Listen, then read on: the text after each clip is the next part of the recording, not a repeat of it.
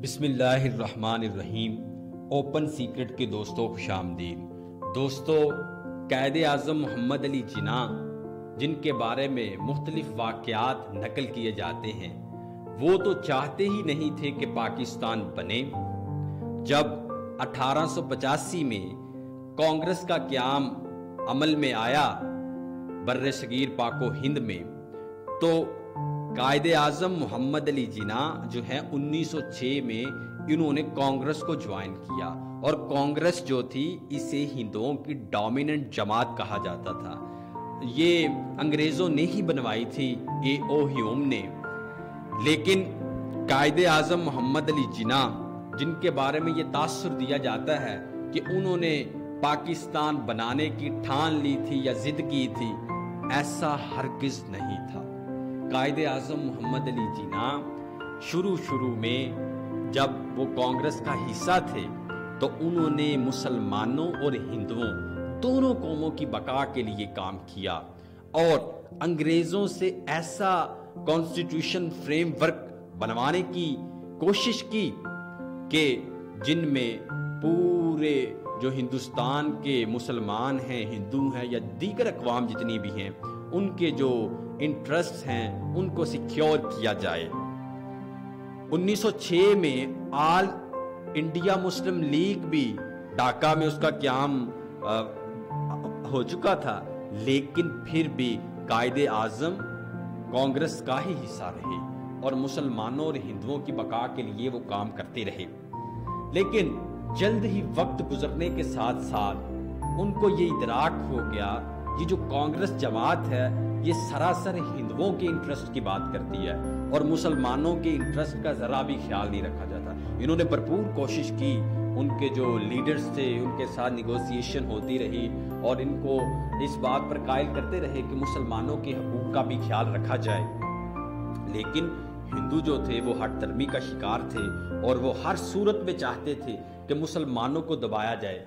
क्योंकि उनका जो नज़रिया था, उनका नज़रिया ये था कि मुसलमान जो हैं ये तो इस इलाके के है ही नहीं। इन्होंने हमारे इलाके पर कब्जा कर लिया है सात सौ बारह में आके मोहम्मद बिन कासिम की सूरत में।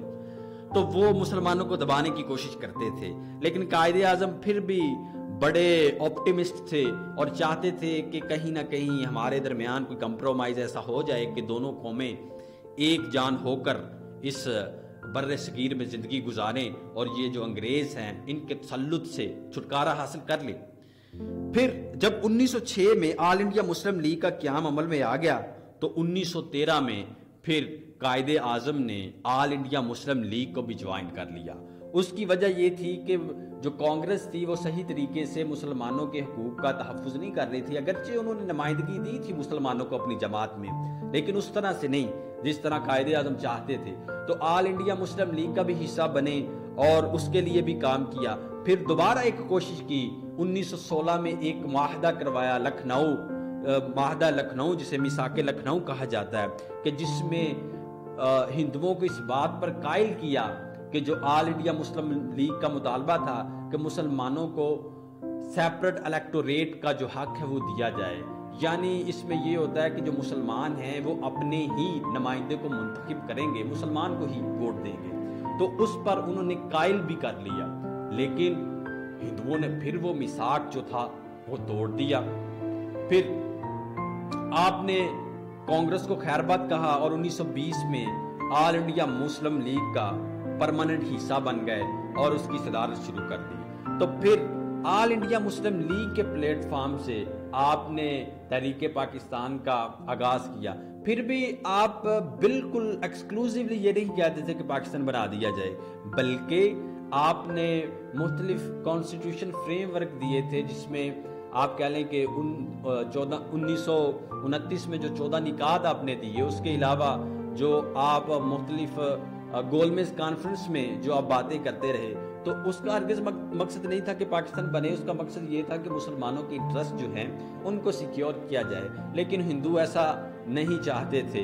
तो बिल आखिर फिर जब गोलमेज कॉन्फ्रेंस का वाक्य पेश आ जहाँ गांधी जो है, वो जिद पर अड़ गए और मुसलमानों को कोई भी हक देने पर आमादा नहीं था तो आपने लंदन में ही फिर सुकूनत इख्तियार कर ली और जो बरसगीर की सियासत थी, उसको खैरबाद कह दिया।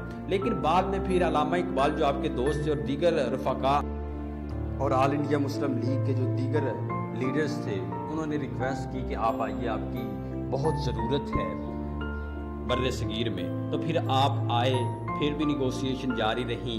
मुख्तलिफ़ प्रोग्राम्स आते रहे और मुख्तलिफ़ जो हैं वो सजेशंस आप देते रहे लेकिन हिंदू जो हैं वो मुसलमानों को हक देने के लिए तैयार नहीं थे।